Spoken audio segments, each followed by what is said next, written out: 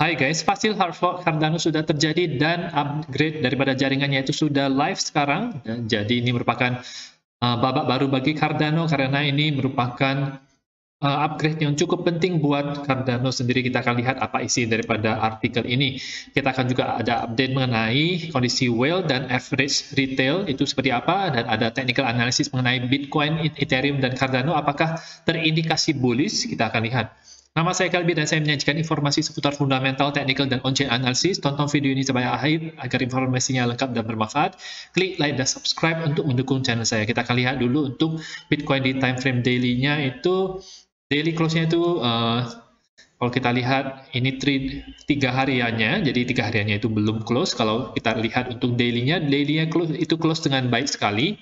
Dan ininya juga candle yang ininya itu juga itu um, meskipun dia merah, tapi dia itu tidak seburuk yang di sini ya teman-teman. Jadi itu uh, bagusnya dan ada semacam konfirmasi di sini di candle tanggal 22 September dia naik ke atas dan ini bisa menjadi indikasi bahwa Bitcoin itu dalam kondisi bullish sekarang ya. Kalau kita lihat ini ada bullish divergence di RSI-nya ketika harga itu turun, RSI-nya itu meningkat. Bukan itu juga ada TD sequential yang sudah selesai juga ya. Jadi kalau kita lihat ini di time frame daily harga Bitcoin itu sudah turun selama 9 hari berturut-turut di sini ya kondisinya dan yang ini adalah yang pertama di memulai yang baru biasanya ada reversal yang terjadi ke atas saat ini kemarin bisa close dengan baik jadi ini merupakan tanda awal yang baik tanda awal yang bullish untuk Bitcoin meskipun belum terkonfirmasi dia kondisi saat ini ya kita masih bisa bilang dia hanya bullish sampai di daerah ini saja, daerah Fibonacci retracement seperti di 20.000, di situ dia harus melewatinya dan di kemungkinan besar di 21.000 itu di golden pocketnya ya. Jadi kondisi sekarang mungkin bullishnya sampai di situ saja. Tetapi kalau kita melihat adanya indikator-indikator yang atau price action yang menunjukkan bahwa Bitcoin lebih bullish, maka target yang lebih tinggi itu bisa tercapai. Nah, ketika TD sequential ini selesai sampai tahapan ke-9 ya, hitungan ke-9-nya, terakhir kali hal tersebut terjadi, Bitcoin itu naik sampai dari low 17.500-nya itu naik sampai ke 25 ribuan ya. Jadi meskipun tidak lancar, naik turun dia, tetapi pada akhirnya dia sampai juga ke 25 ribuan. Dan apakah yang kali ini ini Bitcoin juga akan melakukan hal yang serupa? Apakah uh, ketika FOMC meeting kemarin itu harganya sudah price in, jadi orang-orang sudah mengetahui bahwa the Fed akan menaikkan suku bunga, jadi mereka jual terlebih dahulu. Apakah sudah price in dan justru ketika uh, setelah selesai the Fed mengumumkan, justru itu adalah waktunya yang beli. Nah, kita hanya bisa menunggu untuk konfirmasi price action selanjutnya, tapi secara jangka pendek menurut saya ini bullish untuk jangka pendek ya. Oke. Dan untuk uh, time frame kecilnya itu di time frame 4 jamnya itu ada bullish divergence juga di sini jadi sangat jelas sekali ketika harga menuju ke bawah di ya lebih naik di sini dan sekarang dalam proses naik ya. Jadi uh, kemungkinan besar sih next dia bisa ke sini ini ini adalah next resistance-nya di 20.200-an. Dia harus lewatin ini biar bisa ke daerah inefficient di sini. Ada fair value gap yang terbentuk di sini. Di, itu tengahnya itu sekitar 21 ribuan lebih di situ. Kemungkinan bisa ke sini. Kalau dari Fibonacci juga 61,8-nya eh, itu di 21 ribu. Ethereum sama juga dia bounce daripada garis uh, support ini menurut saya ini merupakan dari support yang cukup kuat ya kalau kita uh, maka dia akan membentuk seperti ini pas di close candle candle-nya yang daily yang di sini nah pas banget dengan di sini dan sekarang ada bounce dari situ kemungkinan bisa bounce sampai kita akan cek dari Fibonacci-nya Uh, menurut saya at least bisa ke 1440-an. Ini di 38,2-nya dan kalau misalnya dia agak bullish dia itu ke 1570 itu di golden pocketnya. Jadi itu adalah dua target untuk Ethereum USDT yang sedang dalam posisi uptrend ini secara jangka pendek. Jadi mengikuti mengikuti Bitcoin ya. Kalau kita misalnya hitung Elliott Wave-nya, um, mungkin ini sudah bisa jadi ini sudah wave 2-nya sudah mungkin sudah selesai. Kita lihat untuk uh, time frame yang lebih kecil Oke, jadi kalau kita lihat, ini wave satunya, yang pasti ini adalah wave A-nya, A-nya, dan ini adalah wave B-nya. Wave B itu jadi dia semacam konsolidasi, tapi dia berbeda dengan tren yang lebih uh, lebih lebih ini, yang lebih tren besarnya, jadi dia oposit dia dia uh, bertolak belakang dengan tren besarnya yaitu turun dan diikuti dengan uh, wave C-nya itu yang berada di sini. Mungkin sudah 5 wave, 1 2 3 4 5, mungkin sudah 5 wave dan ada bullish divergence juga di sini sangat jelas di RSI-nya. Dan mungkin ABC-nya sudah selesai. Kalau misalnya ini adalah skenario bullish maka dia bisa naik ke atas dalam beberapa minggu atau bulan ke depan ya teman-teman.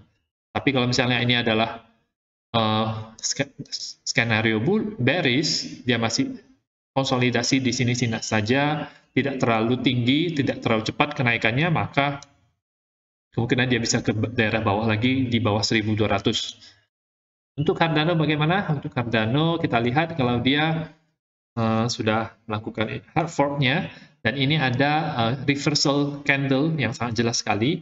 Merah, kemudian ada semacam ketidakpastian, dan ada hijau. Jadi tiga candle set ini, ini merupakan candle reversal, jadi dan, kondisi sekarang adalah kondisi naik ya.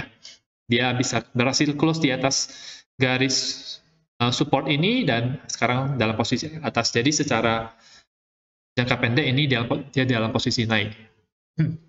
Dan kalau kita lihat untuk ini dari high block, ini adalah perbandingan antara retail dan whale divergence dari coin screener. Ini bisa menjadi leading indicator. Jadi ini terjadi dulu, ada semacam cross yang terjadi, itu bisa mengindikasikan bahwa harga bisa naik atau harga bisa turun setelahnya.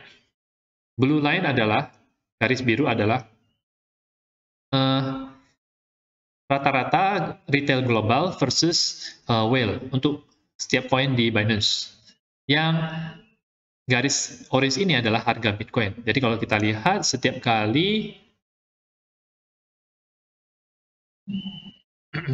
kita tunggu dulu ya di proses ini agak lama maaf buat uh, ininya teman-teman. Oke. Okay. Tidak terlalu jelas tapi kita berusaha untuk melihat saja. Nah, ketika garis biru ini itu dia cross ke atas daripada garis orange ya maka kecenderungannya adalah harga Bitcoin itu akan naik setelahnya.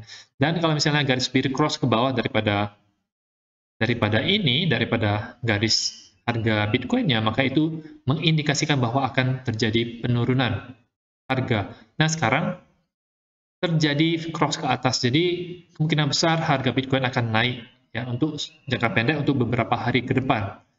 Itu yang ditawarkan oleh iBlock retail and whale divergence-nya. Sangat menarik sekali ya. Kalau misalnya ada lagi nanti akan saya share ya. Oke, okay, dan hasil hard fork daripada Cardano itu sudah live ya. Ini merupakan upgrade yang paling signifikan ya semenjak mereka menambah uh, fungsi smart contract-nya September tahun lalu ya. Ini uh, diumumkan oleh perusahaan company, perusahaan blockchain input output Hong Kong di Twitter di hari Kamis kemarin dan orang-orang lain juga mengobservasinya bersama co-founder daripada Cardano Charles Hoskinson pemimpinnya di sana. Oke. Okay. Uh, upgrade yang signifikan ini ini akan memberikan blok transmisi blok tanpa validasi secara penuh ya sehingga ini meng, mengizinkan bahwa pembuatan blok itu bisa dilangsungkan dengan lebih cepat dan upgrade daripada smart contract Bluetooth-nya itu bisa menambahkan efisiensi kepada ininya. Nah, kemampuan baru ini yang dibawakan oleh script Bluetooth ini akan tersedia buat para developer tanggal 27 September di mainnetnya, lima hari setelah ini berlangsung. Dan menurut ini, salah satu founder daripada crypto trading platform Abra, ini merupakan kemenangan besar buat para developer, karena ini merupakan salah satu upgrade, update yang paling kompleks dan konsekuensialnya buat jaringan Cardano yang pernah dilakukan. Sama seperti uh, Ethereum merge daripada Ethereum, mereka berhasil untuk uh, mengupgrade-nya ke situ, ya. Nah, jadi menurut saya ini merupakan hal yang baik sekali karena nanti developer itu mampu membuat uh, diberikan jaringan yang bisa memproses uh, transaksi dengan lebih cepat dan lebih besar kapasitasnya juga ya. Dan itu sangat penting banget untuk adopsi massal ketika banyak orang yang menggunakan jaringan tersebut, biasanya jaringan tersebut akan memberikan gas fee yang mahal kepada uh, usernya karena biasanya sistemnya itu sistemnya uh, siapa yang bayar lebih mahal maka dia akan diproses duluan. Tetapi kalau misalnya uh, sistem tersebut, jaringan tersebut bisa memproses dengan transaksi yang dalam jumlah banyak, maka itu bisa memberikan keunggulan kepada jaringan tersebut akan digunakan oleh banyak orang dan DeFi-DeFi di dalam Cardano ini bisa dipakai oleh lebih banyak orang lagi. Ya, ketika transaksi tersebut bisa dilakukan dengan murah dan cepat, itu yang orang-orang pengenkan di dalam uh, menggunakan aplikasi-aplikasi desentralisasi tersebut. Ya, banyak sekali hal yang bisa kita lakukan melalui aplikasi tersebut. Bisa kita bisa main game, kita bisa ke metaverse-nya, kita bisa trading, kita bisa staking, lending, borrowing, kita bisa uh, liquidity providing, banyak sekali hal yang dan sangat penting uh, untuk sebuah jaringan itu bisa memberikan experience yang smooth buat customer-nya. Ya, jangan uh, mau minting suatu NFT itu butuh waktu yang sangat lama sekali atau mahal banget buat mint NFT, orang-orang jadi sudah males untuk ke blockchain tersebut. Dan Cardano juga harus berkompetisi dengan layer 2 daripada Ethereum yang posisinya sekarang sangat kuat. Ada Optimism, Arbitrum, Zcash, Starknet, Metis, Loopring, dan banyak lagi, banyak sekali layer 2 di Ethereum. Jadi Cardano harus ada strong point-nya, ada strength-nya yang difokuskan sehingga bisa mengambil sebagian pang, pangsa pasar daripada ekosistem DeFi ini, ekosistem blockchain ini ya teman-teman. Nah, semoga informasi yang bermanfaat buat teman-teman. Teman-teman bisa dukung channel saya dengan mengklik like dan subscribe dan nantikan video saya selanjutnya.